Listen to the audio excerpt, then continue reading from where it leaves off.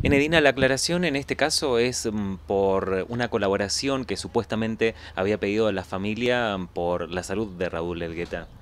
Sí, este, yo lo que quiero agradecer infinitamente es a toda la gente que desde el principio, cuando pasó esto de Raúl, este, nos ayudaron este,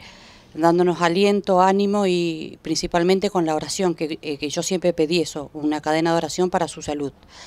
pero lo que yo quiero aclarar principalmente es que llegando a Villa ayer me he enterado que este, hay alguien, que no sé quién es, que está pidiendo colaboración eh, plata en nombre de mi hermano, que en ningún momento la familia ni nosotros hemos, este, hemos pedido ese tipo de cosas. Lo único que hemos pedido y seguimos pidiendo es la oración para que él siga adelante, porque cada día que va pasando realmente de a poquito va mejorando y eso es lo que más nos importa en este momento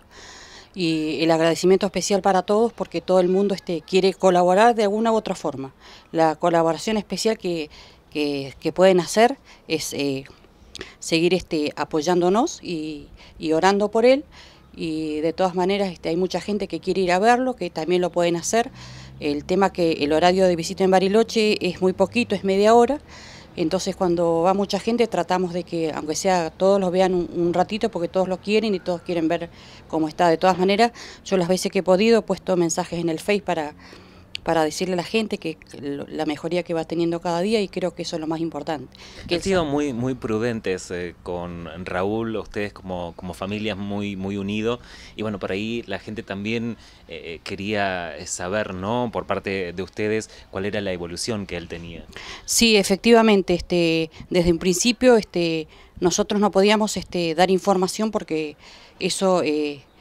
el médico realmente nos, decía, bueno chica, hasta ahora no podemos, no podemos decirles nada, simplemente que él está muy grave y que solo depende de él. Entonces a medida que pasaban los días y teníamos alguna evolución favorable, yo principalmente este, me iba al Face un toquecito y, decía, bueno, eh, hoy eh, está mejor, y cosas que la gente realmente necesita saber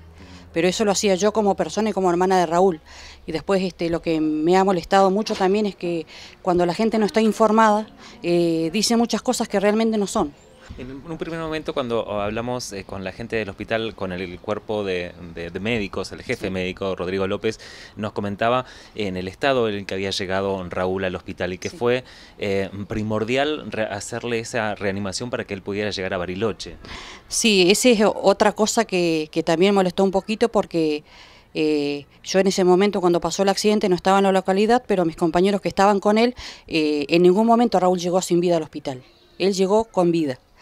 El tema que, que ellos tenían que hacer todo rápido para poder este, derivarlo a Bariloche, pero eh, la molestia de la familia fue exactamente esa porque aparte,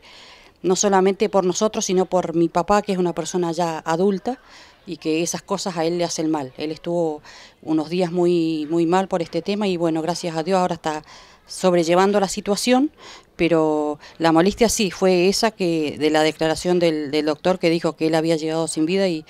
que nosotros sabemos que realmente no fue así porque los compañeros del grupo que lo llevaron al hospital, él, estaba muy mal, muy grave, pero estaba, estaba con vida. Sí, e, ellos hablaron específicamente de, del trabajo que realizaron aquí en Villa Langostura como para poder derivarlo y tener en cuenta que hay una hora de viaje aproximadamente como para que él pueda eh, pasar ese viaje y llegar a Bariloche. Sí, en eso nosotros este, creo que no vamos a tener nunca eh, algo especial para agradecer todo lo que hicieron por él, porque realmente se movieron muy rápido, hicieron todo lo que estaba a su alcance para que él pueda llegar eh, al menos a, Bariloche y allá ser asistido. Te digo que agradecer un, agradecimiento a todo el cuerpo médico que estaba ahí, al chofer, que la verdad que, que yo creo que en estos casos se, se ve el profesionalismo de la gente que está en el hospital. Eh, ¿Fue intervenido quirúrgicamente hace algunos días, eh, Raúl? Eh, no, las cirugías que le hicieron fueron hace aproximadamente tres semanas y este, la única cirugía que le queda por hacer ahora es la parte del brazo, que una vez que esté bien estable, sin fiebre, este, se lo pueden hacer porque es, una, es algo complicado porque puede tener algún virus o algo. Pero en, en realidad la evolución de él cada día es